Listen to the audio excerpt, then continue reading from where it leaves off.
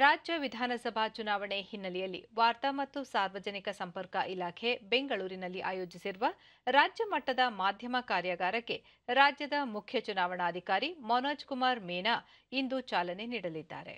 ಅಪರ ಮುಖ್ಯ ಚುನಾವಣಾಧಿಕಾರಿಗಳಾದ ಆರ್ ವೆಂಕಟೇಶ್ ಕುಮಾರ್, ರಾಜೇಂದ್ರ ಚೋಳನ್, ಮಾಧ್ಯಮ ವಿಭಾಗದ ವಿಶೇಷ ಅಧಿಕಾರಿ ಎವಿ ಸೂರ್ಯಸೇನ್, ಹಿರಿಯ ಪತ್ರಕರ್ತ ಎಸ್ಕೆ ಶೇಷಚಂದ್ರಿಕಾ ಪಾಲ್ಗೊಳ್ಳಲಿದ್ದಾರೆ. ಕಾರ್ಯಾಗಾರದಲ್ಲಿ, ಚುನಾವಣೆ ಸಂದರ್ಭದಲ್ಲಿ ಮಾಧ್ಯಮ ಪ್ರತಿನಿಧಿಗಳು ಪಾಲಿಸಬೇಕಾದ ನಿಯಮಗಳು ಹಾಗೂ ಮಾಧ್ಯಮ ಪ್ರತಿನಿಧಿಗಳ ಜವಾಬ್ದಾರಿಗಳ ಕುರಿತು ಅಧಿಕಾರಿಗಳು ಬೆಳಕು ಚೆಲ್ಲಲಿದ್ದಾರೆ.